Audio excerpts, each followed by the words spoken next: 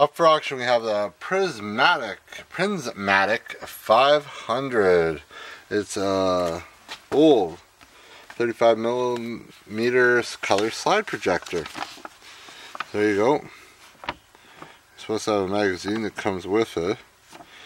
I'm not sure if we have the right magazine. It looks right, but I could be wrong.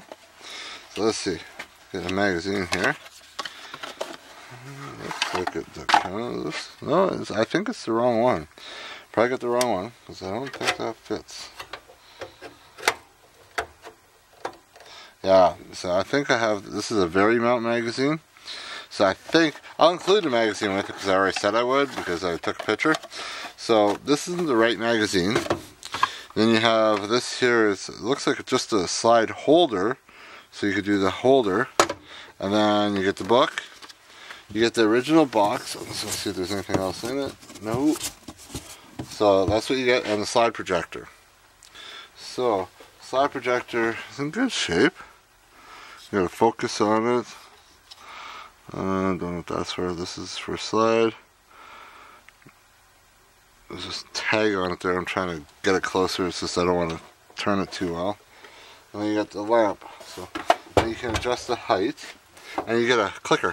Clicker. So I will get smart this time and I'll face it. I'll put it on the box and I'll face it this way. Plug it in. Let's see what we can. Whoa!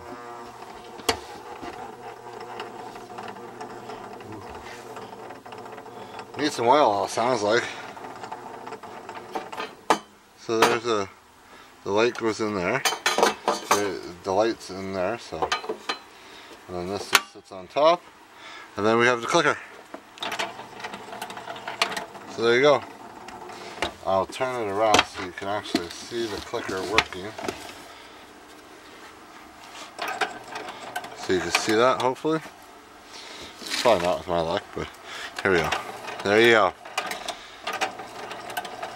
So light works, everything works on it, and it's good to go. So if you have any questions about it, um, besides the side piece is missing, everything else looks there, fans there.